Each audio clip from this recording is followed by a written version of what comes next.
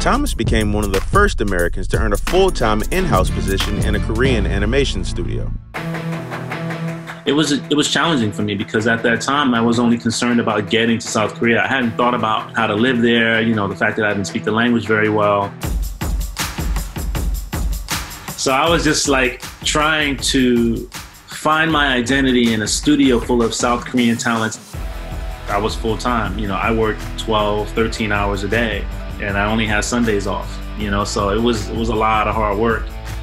I, I never really encountered any racism or any difficulties because of my skin color in particular. Actually, in my opinion, I'd say it was the opposite. I think a lot of the staff at that South Korean animation studio had never had conversations with a black man, much let, let alone uh, work alongside them.